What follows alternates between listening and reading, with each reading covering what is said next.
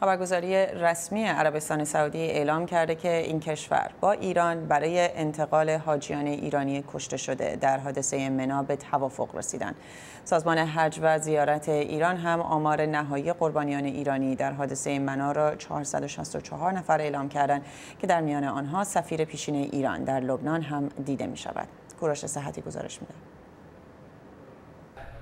بنابر گزارش خبرگزاری رسمی عربستان در توافقی که در پی دیدار وزرای بهداشت ایران و عربستان سعودی در ریاض به دست آمده دو طرف توافق کردند تا اجساد حاجیان ایرانی را که هویت آنها مشخص شده است در اسرع وقت به ایران انتقال داده و به ارتباط میان خود در هویتیابی دیگر اجساد و ایرانیان مفقود ادامه دهند. همزمان حسن قشقاوی معاون وزارت امور خارجه ایران نیز گفته است روند کارهای اجرایی و همکاری با عربستان در موضوع حادثه منا روند خوبی است.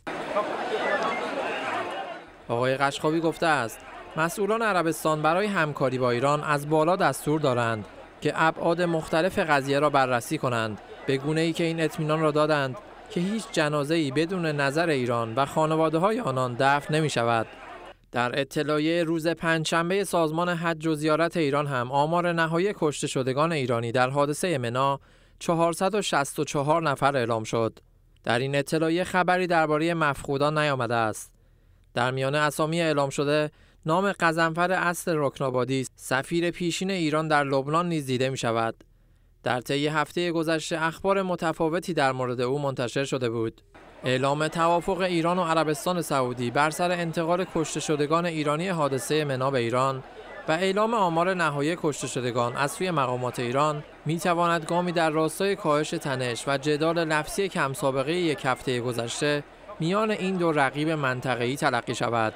روز گذشته رهبر جمهوری اسلامی برای چندمین بار گفته بود عربستان سعودی را مسئول حادثه منا می‌داند و این کشور را تهدید کرده بود که اگر ایران بخواهد واکنشی در این ارتباط نشان دهد این واکنش خشن و سخت خواهد بود.